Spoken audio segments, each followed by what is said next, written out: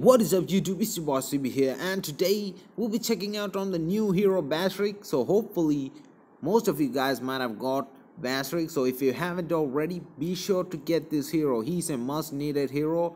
Now Bazric is very versatile so you can use in almost any of these races. So before we get onto this video I want you guys to go out and check my buddy out Death. He's a really great guy and he got a lot of void videos so you guys you guys might need his formations because he's a really beast in the void. So you guys go check him out. And now let's come back to the video guys. Now i have already unlocked Bazric get him up to level 50 and now let us go check out his stats guys. So let's go and check out his stats.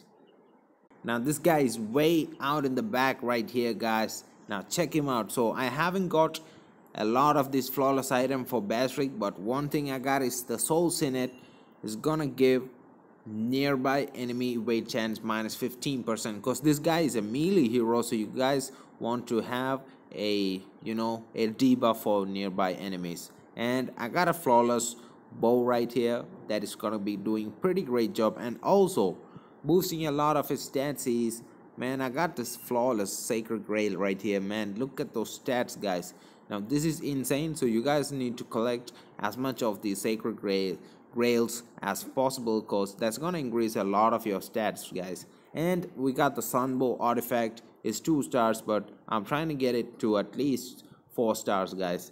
Damage to large and massive units plus 30 percent that's gonna give a lot of damage to Bazric already. So now let's go and check on his abilities guys.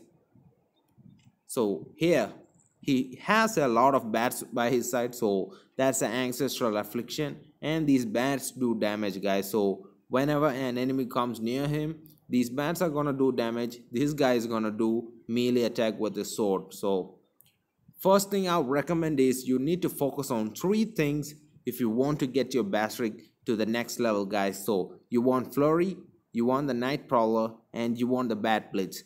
Everything else is just as much as you wish. Try to get the most points on flurry and the night prowler guys. So the night prowler you guys can get an artifact. No actually it is a divine item from the scroll from the void shop. And try to get it so you can get the night prowler to the maximum level like 10 by 9 all right? And the bat blitz, i want to my Bazric to do a lot of damage. That's why i have five points on the bat blitz so let's go and check out each and every abilities guys. So coming to the first ability basic attack into flurry of three lighter jabs and also the third of which is always a critical hit and he also gets a critical hit damage increase and also his evade chance is going to increase by 72% so that is going to be a really great thing every single time.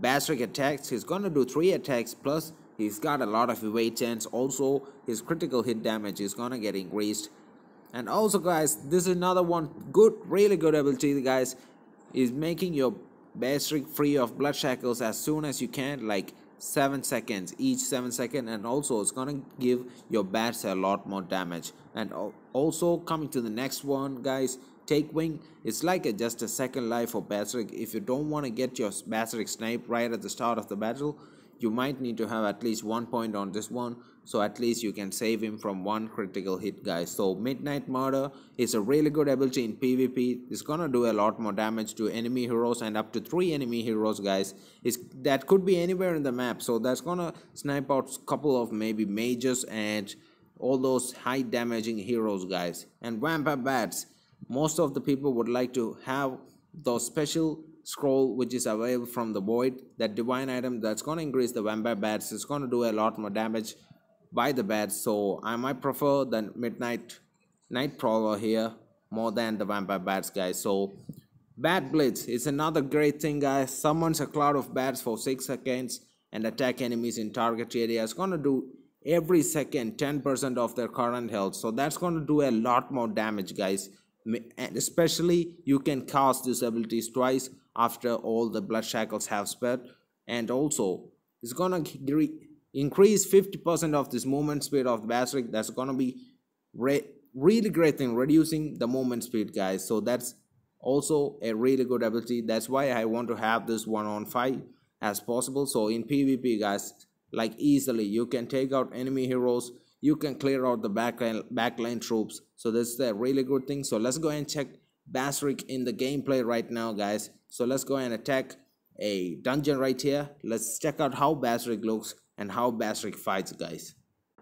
So while deploying Bazric you can actually see all those blood shackles. You guys can see the five blood shackles. And if there is no enemy heroes the Bazric is gonna shed all those five shackles right at the start of the battle. So in our case we are doing a dungeon. So pretty much no heroes so that's why we're gonna get the bat blitz right at the start of the battle. So i want you guys to focus on the surrounding area of the Bazric. The aura is gonna do a lot more of this damage to the nearby troops just by his bats itself guys. And look at those dabs guys. Three dabs pretty easy kill guys. Pretty easy kill and he's very fast guys. He look at the fast man. He's running on the battlefield guys. So now let's hit that retry and check out the bat blitz guys. Let's see how much damage this thing does. It's gonna do a lot more damage like 10 percent damage per second guys. That's gonna do a lot more damage. So let's go and hit retry and try to finish this off guys.